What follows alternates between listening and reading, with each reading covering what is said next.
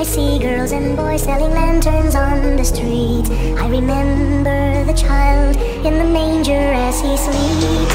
Wherever there are people giving gifts, exchanging cards, I believe that Christmas is truly in their hearts. Let's light our Christmas trees for a bright tomorrow where nations.